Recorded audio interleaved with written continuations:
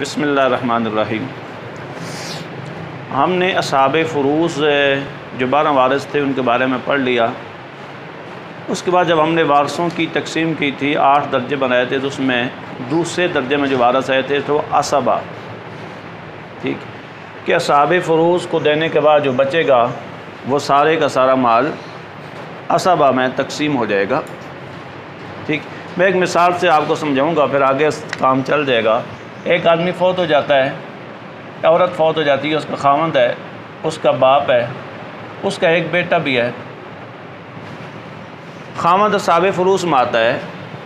अगर मरने वाले की औलाद है तो खामद को चौथा ऐसा मिलता है। ना हो तो फिर आधा मिल जाता है। औलाद है तो हमने खामद को एक बटा चार दे दिया, या साब फरूस में। बाप की भी हमने हालतें पढ़ी थी, उनमें से एक ये थी कि बाप अगर मरने वाले की बेटा पोता मौजूद हो तो बाप को एक बटा छः मिलता, हमने बाप को एक बटा छः दे दिया। अब हमने ये, अब बेटे को देखा तो बेटा असबात माता आगे हम उसकी वजाहत करेंगे। ये लिख दिया। असबात आइन अब होगा कुल माल का एक बटा चार भी देंगे। कुल माल का एक बटा छः भी देंगे। मिसाल के तौर पर अगर मरने वाला आदमी एक लाख रुपए की जायदाद छोड़ के जाता है तो हम उसका चौथा हिस्सा कुल जायदाद तकसीम चार कर देंगे। हमारे सामने निकल आएगा। पच्चीस हज़ार रुपया बन जाएगा। हम वो खामद को दे देंगे। इसी तरह फिर कुल माल तकसीम छः करेंगे। सोलह हज़ार तो कुछ हमारे पास आ जाएगा तो वो हम बाप को दे देंगे। अब ये पच्चीस सोलह, इसके बाद जो पीछे बच जाएगा, वो सारे का सारा बेटे को मिल जाएगा। ये तकसीम का तरीक़ेकार है कि पहले असाब फ़रूस उससे जो बच गया वो असबात में चला जाता है। अब हम आते हैं असबात की तरफ़। असबा बुनियादी तौर पे असबा वो वारस होते हैं जो असहाब फ़रूज़ नहीं होते, यानी उनका कोई मुकर हिस्सा नहीं होता। इनका कोई मुकर हिस्सा नहीं होता। असाब फ़रूज़ से बचने वाला सारा माल ले लेते हैं। ये असबा की तारीफ़ है। इनकी तीन किस्में हैं। नंबर एक, असबा बिन नफ्स। नंबर दो, असबा बिल गैर। नंबर तीन, असबा माल गैर। ये तीन किस्में हैं, असबा बिन नफ्स असबा बिल गैर, असबा माल गैर ये जो पहली है, इसमें थोड़ी तफसील है। ठीक? हम दूसरी और तीसरी को पहले समझ लेते हैं। ठीक? उसके बाद हम पहली किस्म को समझ लेंगे, इनको ख़त्म कर देंगे। असबा बिल गैर और असबा माल गैर बुनियादी तौर पर ये कुछ ख़ातन हैं जो असाब फ़रूज़ में भी कभी होती हैं। लेकिन फिर वहाँ से कभी कभार निकल के असबा में आ जाती हैं। असबा बिल गैर में चार ख़ातन आती हैं। बुनियादी तौर पर इसकी तारीफ़ यह है कि हर वो ख़ातून जो असबा बनने में अपने भाई की मोहताज हो, जो भाई असबा बिन नफ्स में आता है। ये असबा बिल गैर की तारीफ़ है। हर ख़ातून जो असबा बनने में अपने भाई की मोहताज हो, जो भाई असबा बिन नफ्स में आता है, इस तारीफ़ को अगर देखेंगे तो उसमें चार खातन आएँगी। नंबर एक, बेटी। नंबर दो, पोती। नंबर तीन, हकीकी बहन। और नंबर चार, अलाती बहन। एक दो, तीन, चार। ये कुल चार खातन हैं जो असब आबिल गैर में आती हैं। और आप इनकी हालतों में पढ़ चुके हैं। बेटी की हालत में आपने पढ़ लिया था कि बेटी एक हो तो एक बटा दो मिलता है, दो तो दो बटा तीन मिलता है। और अगर इसके साथ मैत का बेटा भी हो तो बेटी असबा में चली जाती है। और जो मैत का बेटा है, ये असबा बिन नफ्स में आता है। तो ये बेटी हमने जो तारीफ़ की थी, हर ख़ातून जो असबा बनने में, अपने भाई की मोहताज हो, जो असबा बिन नफ्स हो, इसका जब भाई होगा, यानी मैत का बेटा होगा तो इसका भाई होगा। तो ये अब एक बटा दो दो बटा तीन छोड़ देगी, असाब फरूज की फहरिस्त से निकल जाएगी, ये असबात में आ जाएगी। पोती है, पोती की हमने हालतें पढ़ी थी छः एक बड़ा दो लेती है, दो बड़ा तीन लेती है, एक बड़ा छः लेती है। फिर हमने एक ये भी पढ़ा था कि अगर इसके साथ पोता भी हो मैत का पोता भी मौजूद हो तो वो पोता इसको नीचे ले आता है असबात की फ़हरिस्त में। अब ये एक बड़ा दो दो बड़ा तीन, एक बड़ा छः वाले सूरत में नहीं रहती है, साब फरूज़ के सफ़ से निकल के असबा की सफ़ में आ जाती है।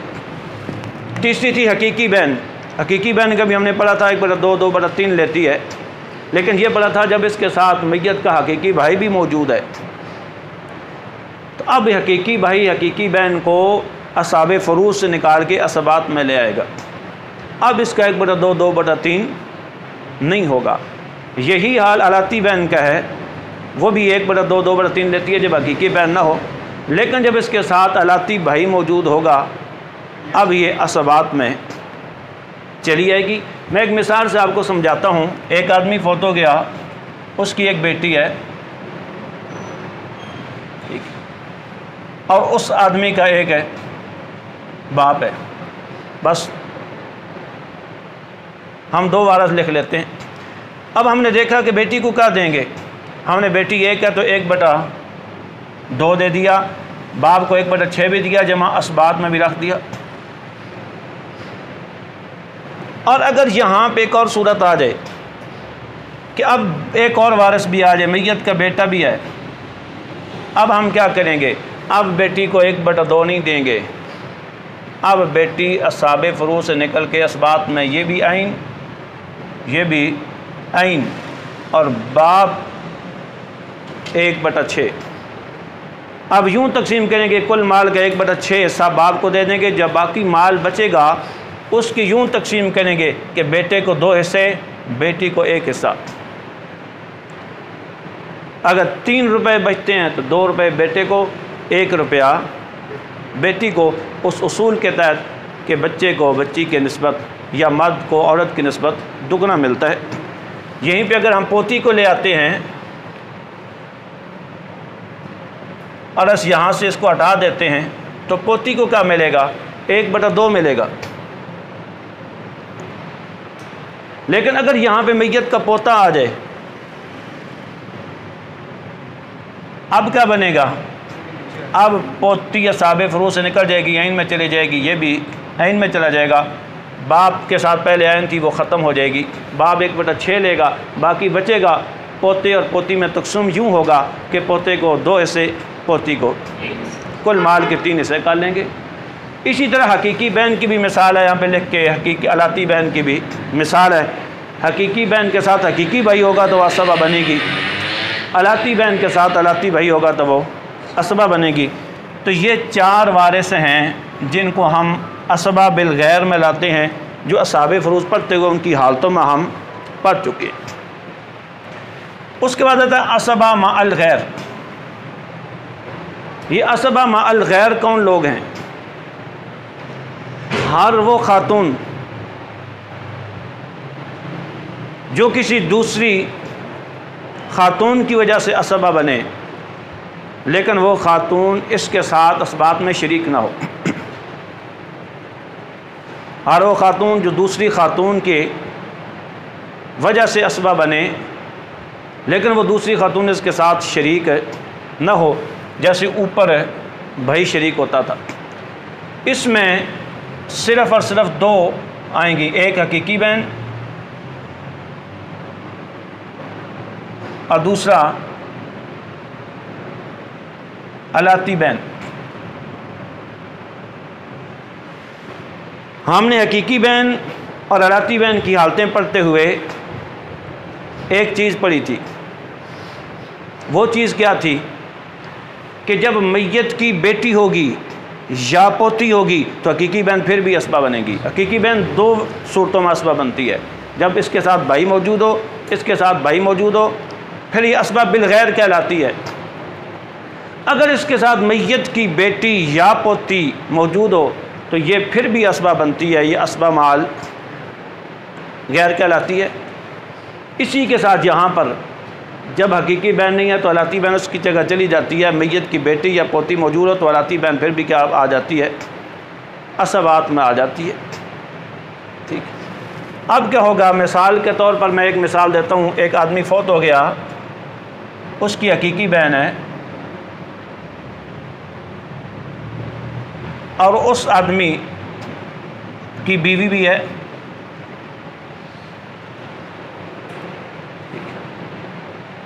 अब हम क्या करेंगे? उस आदमी का चचा भी है।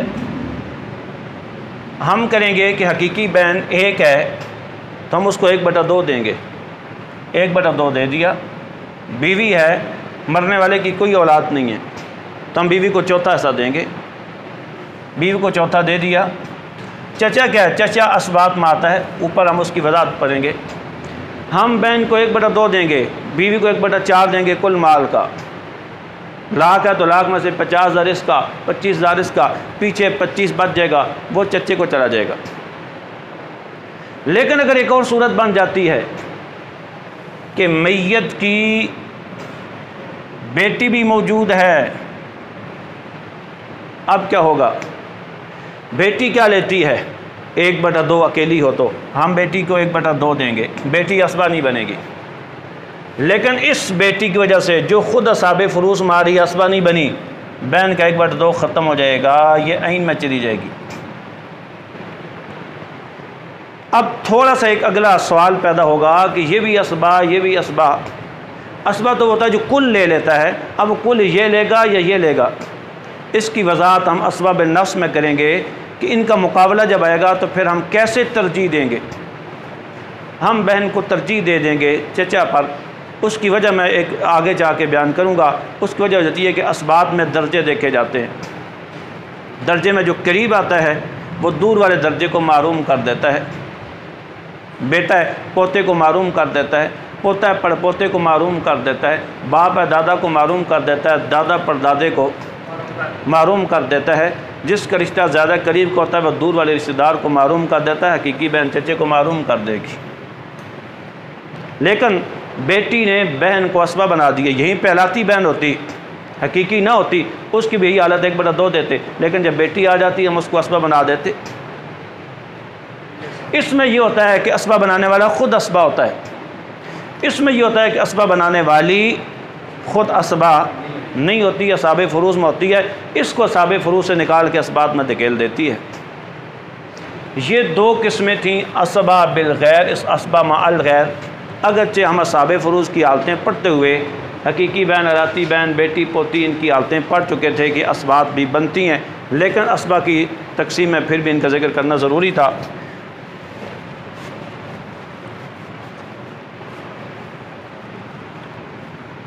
इन दो को आपने समझ लिया। अब मैंने अर्ज़ किया था कि तीसरे हैं असबाब नफ्स। असबाब नफ्स कौन होता है? सिर्फ़ मर्द होता है, जिसके और मैत दरमियान कोई औरत नहीं आती। मर्द होता है, बिजात मैत का असबा बनता है। उसके और मैत के दरमियान कोई औरत नहीं आती। ये तारीफ़ है। इसकी चार जहतें हैं। असबाब नफ्स की चार जहतें हैं। बिल्कुल आसान होगी इन पहली जहत क्या है? इसको कहते हैं जियातुल बुनुवा। दूसरी जिहातुल अबुवा। तीसरी जिहातुल अखुवा। चौथी जिहातुल उमुमा। बनुआ बेटों से है, इसका मतलब है बेटा इबन से बना है। बेटे को जिहत अबुआ बाप का मना अब से बना है, बाप वाली जिहत अखुआ अखुन से बना है, भाई को कहते हैं, भाई की जिहत अमूमा अम से बना है, चचे की जिहत बेटी की जिहत बाप की जिहत भाई की जिहत चचे की जेहत ये चार जेहतें हैं असबा बिन नफ्स के अंदर। अब मैं आपको समझाता हूँ। इसकी मिसाल एक मुर्दा है। देखो ये एक मुर्दा है। ये उसकी नीचे हम ले आते हैं जी आते अव्वल, औलाद, बेटा, पोता हम सिर्फ़ तीन तीन रिश्ते लिखेंगे वगरना नीचे भी जाते हैं। बाप, दादा, परदादा। इसको कहते हैं पहली जेहत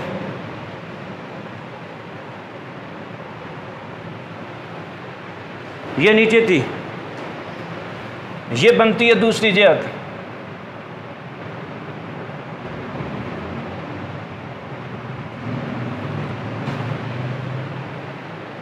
उसके बाद आती है जियत लखुआ हम इसको यूँ ले आते हैं। अगर आप इसको यूँ समझ लें तो ज़्यादा आसान। बाप की औलाद। अब बाप की औलाद कौन सी है? मरने वाले के बाप की जो औलाद होती है, मरने वाले की क्या लगती है? भाई भाई तीन किस्म के होते हैं। एक हकीकी भाई, एक अलाती भाई, एक अखियाफ़ी भाई। अखियाफ़ी के बारे में हमने पढ़ा था, वह साब फरूस में जाता है। उसका एक बटा तीन या एक बटा छः या कभी मालूम हो जाता है। वो असबा में नहीं आता। इसका मतलब असबा में दो किस्म के भाई आएँगे। एक हकीकी आएगा, दूसरा अलाती आएगा। हम लिखते हैं, हकीकी भाई और दूसरा अलाती भाई।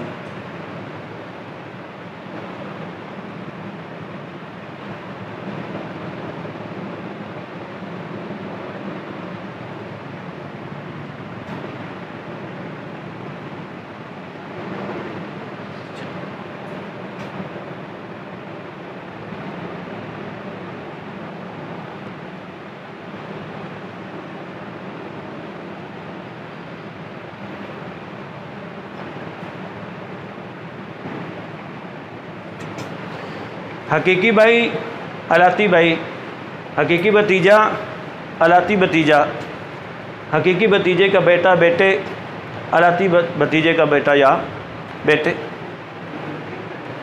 ये तीसरी जहत। आप इसको कह दें तीसरी जहत। ये तीसरी जहत है।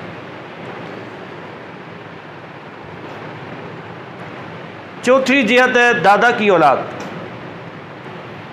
ये कायम रहेगा। सिर्फ़ चूँकि रिकॉर्डिंग भी है तो हम थोड़ा जल्द नीचे लेते हैं। हम इसको नीचे मज़ीद ले आते हैं ताकि लिखने में आसानी हो। अब जो दादा की औलाद होती है, वो क्या लगती है? वो बाप के भाई होते हैं, उनको हम चचे ताए कहते हैं। अरबी मामो नहीं कहते हैं, हम चचे ताए फ़र्क करते हैं। वाले से बड़ा ताया, छोटा तो चचा। अब चचों में भी यही तकसीम है। हकीकी भाई, अलाती भाई की तरह हकीकी चचा, अलाती चचा, जो बाप का सगा भाई होगा, वो क्या कहलाएगा? हकीकी चचा, जो बाप का अलाती भाई होगा, वो अलाती चचा। हम लिखते हैं हकीकी चचा।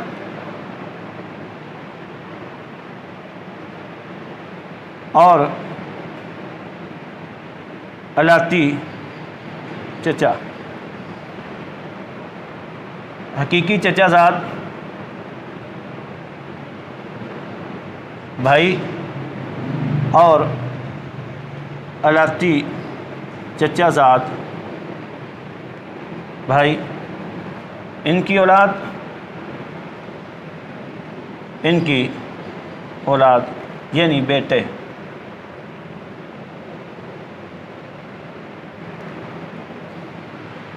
इसको कहते हैं चौथी जिहत।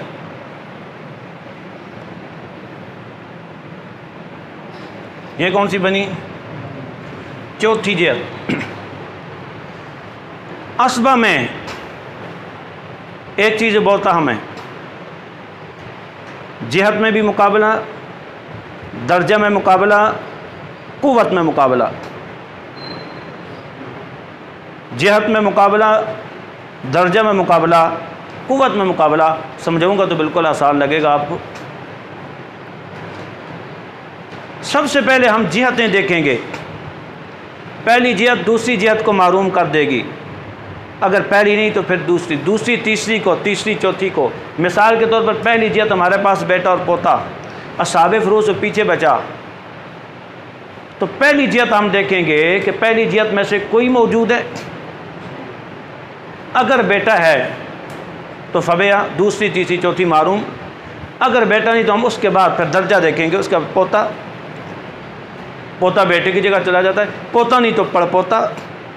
पड़पोती की भी औलाद नीचे देखेंगे, अगर मुजक्कर औलाद है तो। लेकिन चूँकि आमतौर पर तीन ही नस्लें ज़्यादातर हमारे यहाँ रहती हैं, तीन का ज़िक्र किया। अगर ये पूरी जियत नहीं है तो फिर हम दूसरी जियत में जाएँगे बाप। एक आदमी मर गया, उसका बाप भी है, उसका बेटा भी है। हम बेटे को असबा बनाएँगे, बाप को नहीं, बाप को एक बटा छः सरफ देंगे। दूसरी जियत में चले गए, पहली जियत नहीं थी, बाप। अगर बाप ना हो तो फिर दादा। दादा ना हो तो फिर परदादा। अगर दूसरी जियत ना हो सिरे से, ना बाप, ना दादा, ना परदादा, ना ऊपर शक्कर या रक्कर दादा, कोई भी नहीं है। अब हम तीसरी जियत की तरफ़ आएँगे। अब हम ये जियत वारस बनेगी। अगर ये पूरी जियत ना हो, नीचे तक पूरी नस्ल ना हो, फिर चौथी जियत की तरफ़ आएँगे। अब मैंने कहा था कि जिहत में मुकाबला होगा, दर्जे में मुकाबला होगा कुत में मुकाबला होगा।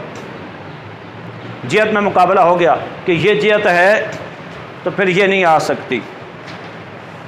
बेटा है तो बाप असबा नहीं बनता। बाप वाली जियत है तो भाई असबा में नहीं आते। किसी का भाई भी मौजूद है, उसका बाप भी मौजूद है। बाप सारा माल लेगा साबित फरू से बचने के बाद भाई को कुछ नहीं मिलेगा। किसी का दादा मौजूद है, भाई भी मौजूद है, दादा सारा माल ले लेगा, भाई को कुछ भी। किसी का परदादा मौजूद है, सारा ले लेगा, भाई को कुछ भी। और अगर तीसरी है दूसरी नहीं है, किसी का भाई मौजूद है, उसके चचे को कुछ नहीं मिलेगा। एक आदमी मर गया, उसका भाई भी है, उसका चचा भी है, भाई सारा माल लेगा। एक हैं या ज़्यादा आपस में तकसीम कर लेंगे, लेकिन चचों को कुछ नहीं मिलेगा। ये पहला मुकाबला था जिहत में कि पहली जिहत दूसरी को, दूसरी जिहत तीसरी को, तीसरी जिहत चौथी को मालूम करती है। दूसरा मुकाबला हमने दर्जा में करना है। वो कैसे? जिहत के अंदर ख़ुद मुकाबला होगा। हर जिहत के अंदर ख़ुद मुकाबला होगा। बेटा मौजूद है तो पोता मारूम। क्यों? इसलिए कि बेटे का दर्जा पोते से मुकदम है। बेटा पोते से ज़्यादा करीब है मुर्दे के। पोता मौजूद है तो पड़पोता मारूम। एक आदमी मर गया, उसका बेटा भी है, उसका पोता भी है। ये बड़ा मशहूर मसला है। एक आदमी है अहमदीन उसका नाम है मिसाल के तौर पर। उसके तीन बेटे हैं। तीनों बेटों में से एक बेटा मर गया उसकी ज़िंदगी में। अब अहमदीन की खुद अपनी मौत हुई। दो बेटे उसके ज़िंदा हैं। वो जो तीसरा बेटा फौत हुआ था, उसकी आगे औलाद मौजूद है, यानी बेटे, जो अहमदीन के पोते लगते हैं। आमदीन के पोतों को, उसके बेटे को तो कुछ भी नहीं मिलेगा। कुछ भी नहीं मिलेगा। क्यों? इसलिए कि दर्जा में देखेंगे, ये बेशक बेटा पोता एक जियत में है, लेकिन बेटा या बेटे, इनका दर्जा ऊपर का है, पोतों का दर्जा नीचे का है। पोता इसी बेटे से भी हो सकता है, किसी और बेटे से भी हो सकता है। यहाँ पर मैं एक चीज़ अर्ज़ करूँ, दुनिया में एक बड़ा शोर मचता है कि देखिए, ये पोते को ऐसी बात नहीं है। इस्लाम ने रिश्तों को करीब से देख कर ना विरासत को तकसीम किया है, लेकिन जबर नहीं, बड़ी ये खूबसूरत कुछ खुली हमारे लिए रस्ते भी रखे हैं। मिसाल के तौर पर अहमद दीन की हमने मिसाल दी, उसके तीन बेटे थे। ये भी मुमकिन है कि उसके पोते बहुत मालदार हों और बेटे तंग दस्त हों। लेकिन ये भी मुमकिन है, पोते बहुत तंग दस्त हों। उनका बाप भी मर गया, छोटे हों और बेटे मालदार हों। इसके बावजूद भी हम कहते हैं कि बेटों को विरासत मिलेगी। क्या ये जुल्म है? ये जुल्म नहीं है। इसलिए कि इस्लाम में सिर्फ़ विरासत नहीं है। इस्लाम में हदिया भी है, तोहफ़ा जैसे कहते हैं। सदका भी है, वसीयत भी है। अगर दादा समझता है कि मेरे पोते नादार हैं, तंगदस्त हैं, बेटे ठीक हैं वो वसीयत के ज़रिए से अपने माल का एक बटा तीन हिस्सा पोतों में दे सकता है। वसीयत कर जाएगा पोतों को एक बटा तीन मिलेगा। बाप अगर इससे भी ज़्यादा देना चाहता है, वो अपनी ज़िंदगी में उनको हदिया या सदका के तौर पे सारा माल, आधा माल, तीन बटा चार हिस्से, कुल माल, जितना चाहे, वो अपने पोतों को दे सकता है। ये सारे ऑप्शन मौजूद होते हैं। इसका मतलब होता है कि एक दरवाज़ा मौजूद है, इसके बावजूद आप दीवार से निकलने की कोशिश करें। हाँ जी। तो ये आम तौर पे लोगों को चूँकि इल्म नहीं होता, या इल्म है तो जानबूझ के इस्लाम पर इतराज़ करते हैं कि पोते की विरासत जी नहीं मिल रही। भैया, पोते की विरासत नहीं मिल रही तो पोते के हक में वसीयत मौजूद, पोते के हक में हदिया मौजूद, पोते के हक में सदका मौजूद। दादा, इन तीनों तरीक़ों से पोतों को सारा माल भी दे कर जा सकता है। तहाई माल भी दे के जा सकता है। वसीयत का कानून अपनी जगह पे। ये, ठीक? तो भारत में अर्ज़ कर रहा था कि हमने जियतें देखी तो पहली जियत ने दूसरी जियत को मारूम कर दिया। हमने अब दर्जे देखे हर जियत के अंदर से। तो बेटा अब दर्जे देखेंगे। बेटा दर्जे में पोते से ज़्यादा करीब है, बेटे के होते पोते को नहीं मिलेगा। अगर बेटा ना हो तो पोता। अगर पोता मौजूद है तो फिर पड़पोते को कुछ नहीं मिलेगा। इस तब बाप मौजूद है तो दादे को नहीं मिलेगा। दादा मारूम, क्यों? इसलिए कि दादे का दर्जा, पर अपना बाप का दर्जा दादे से मुकदम है, ज़्यादा करीब है। अगर बाप नहीं तो दादा दादे के होते, पर दादे को नहीं मिलेगा। अब ये सूरत एक और आ गई। मैंने कहा था कि हम जियत देखेंगे फिर दर्जा देखेंगे। हमने जियत भी देख ली कि ये जियत इसको मालूम करती है, ये इसको मालूम करती है इसको मालूम करती है। हमने दर्जा देखा। हमने कहा बेटा पोते को, पोता पड़पोते को, बाप दादे को, दादा परदादे को मालूम करता है। हमने जियत भी देख ली, दर्जा भी देख लिया। तीसरी हमने कुत देखनी है। कुत यह देखनी है कि ये दोनों भाई हैं। जियत भी एक है। तीसरी जियत में दोनों। दर्जा भी एक है। ये भी भाई है मैयत का। ये भी भाई है। लेकिन कुत के अतबार से आप देखेंगे, ये कवि है, ये दईफ है, इसका दोहरा रिश्ता है। ये माँ और बाप दोनों से मैयत का भाई है और ये सिर्फ़ बाद की नस्बत से भाई है। अब क्या होगा? ये पूरी जियत नहीं थी। हमने इनको देखा। बाप दादा, परदादा भी मैयत का नहीं था। सिर्फ़ मैयत का एक हकीकी भाई, एक अलाती भाई मौजूद था। अब हम क्या करेंगे? क्या दोनों को बराबर तकसीम करेंगे? नहीं तकसीम करेंगे। हम हकीकी भाई को देंगे, अलाती को नहीं देंगे। ठीक ये हमने कुत के अतबार से देखा। और यहाँ पर एक और मसला भी बताता हूँ। यहाँ बैन भी आ सकती है। मिसाल के तौर पर एक आदमी मर गया। उसकी एक हकीकी बहन है। उसकी एक बेटी या पोती है। और उसका एक अलाती भाई भी है। आपने पढ़ा कि बेटी पोती को तो मिलता है, एक बटा दो। और बेटी को तो हुए कि बहन क्या बनती है? असबा। बहन तो असबा बन गई, और एक अलाती भाई भी मौजूद है। अब बहन को देंगे या भाई को देंगे? हम बहन को देंगे, क्योंकि बहन हकीकी है, भाई अलाती है। ये तीन चीज़ें बहुत ज़बरदस्त याद रखने वाली हैं, जहत भी, दर्जा भी, और कुत भी। हकीकी भाई अलाती को मरूम कर देगा। इसकी जो हकीकी बहन होती, वो भी अलाती भाई को मरूम कर देती। इन में फिर आप दर्जा देखेंगे। अब जब हकीकी भाई नहीं है तो फिर हम अलाती भाई को माल दे देंगे। एक आदमी फौत हो गया, उसकी ये जियतें नहीं थी। हकीकी भाई भी नहीं था, अलाती भाई था। हम सारा माल अलाती भाई को देंगे। अलाती भाई के होते हुए हकीकी भतीजा हकीकी भतीजा होता है जो हकीकी भाई का बेटा हो, जो माँ बाप दोनों से भाई बनता उसका बेटा। इसको नहीं मिलेगा। क्यों? इसलिए कि ये नीचे दर्जा के अतबार से। अगर ये ना हो तो फिर इसको मिलेगा। अब ये दोनों आ जाते हैं। कोई आदमी मर गया, उसका हकीकी भतीजा भी है, अलाती भतीजा भी है, यानी हकीकी भाई का बेटा भी, अलाती भाई का बेटा भी। अब हम क्या करेंगे? वही कुत के अतबार से देखेंगे, इसको देंगे ऐसे नहीं देंगे। अगर ये नहीं है तो फिर इसको, अगर ये है तो फिर इनको नहीं मिलेगा। हमने सिर्फ़ ये तीन दर्जे जहाँ पर देख लिए। अब हम आए यहाँ चौथी की तरफ़। हकीकी चचा कौन होता है? बाप का जो सगा भाई होता है माँ बाप दोनों की तरफ़ से अलाती चचा वो होता है, अखियाफ़ी चचा नहीं बनेगा। क्यों? इसलिए कि वो माँ की नस्बत से जुड़ता है। और असबा बिन नफ्स में मैंने आपको बताया था, मर्द होगा उसका मैय के दरमियान कोई औरत का वास्ता नहीं आएगा। अखियाफ़ी चचा नहीं आएगा, जैसे अखियाफ़ी भाई नहीं आया था। हकीकी चचा को हम देंगे। अगर हकीकी चचा लाती चचा दोनों मौजूद हैं, हम इसको देंगे, इसे नहीं देंगे। अगर ये नहीं तो फिर इसको, अगर ये है तो फिर इनको नहीं मिलेगा। अगर ये दोनों आ जाएँ, फिर इससे मिलेगा, इन्हें नहीं मिलेगा। अगर ये नहीं है तो फिर इसको मिलेगा, ये है तो फिर इनको नहीं। ये है तो फिर इनको नहीं। तो यूँ हमने तीनों एतबार से देख लिया। एक जहत दूसरी जहत को मालूम कर देगी। दूसरी तीसरी को, तीसरी चौथी को। फिर हम दर्जा देखेंगे, पहले दर्जे वाला दूसरे को, दूसरे वाला तीसरे को। फिर हम कुत देखेंगे, हकीकी भाई, अलाती भाई को मालूम कर देगा हकीकी भतीजा अलाती भतीजे को हकीकी चचा अलाती चचे को मालूम कर देगा। ये तो बुनियादी तौर पे चार जहतें आम तौर पे विरासत की कुतब में बयान की जाती हैं। हमने कहा था, साबिर फरूज को देंगे, जो बच गया वो असबा में तकसीम कर देंगे। लेकिन एक और सूरत भी होती है, वो ये होता है कि परदादा की भी औलाद मौजूद है। तो हम उसको पाँचवीं जहत बना सकते हैं। वो क्या लगते हैं, मसलन परदादा की औलाद हो मुजक्र औलाद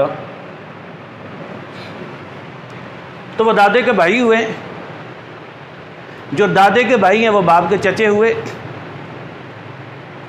तो उनकी भी यही तकसीम, जैसे मैत का हकीकी चचा, बाप का हकीकी चचा, बाप का अलाती चचा, हकीकी चचे के बेटे, बाप के हकीकी चचे के बेटे, अलाती चचे के बेटे।